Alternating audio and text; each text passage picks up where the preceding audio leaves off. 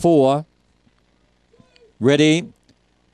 Racing, Edison's Way jumped on terms, showing good speed. Willow Bubbles coming across is Edison Bale from the outside. Bit of a hip and shoulder, he couldn't get across. And uh, going to the back, Willow Bubbles leads. Going up in the second place is Uranus Smacko. He's a strong dog. They're followed further back by Edison Bale, making ground out wide. Addison's Way off the back. Uranus Smacko went to the front and cleared out.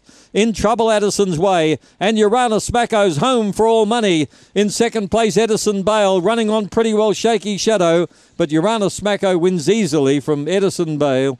They're followed further back in the field by Shaky Shadow. Not far away behind those was uh, Edison Bale Super Takachi with uh, Springvale Hope Willow Bubbles.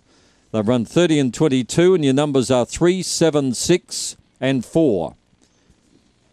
3, 7, 6, 4, 30 and 22, 448, 1730, home in 1292. A runaway win by Uranus Smacko. It's been missing the start in its races, but got up there quickly tonight. Three and three quarter lengths, the winning margin. Three and three quarter lengths.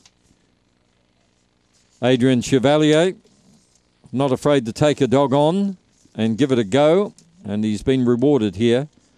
Uranus Smacko oh, is a white and blue dog by Banjo Boy from uh, Shywin. Is raced by A Chevalier and Algie Lepinkus.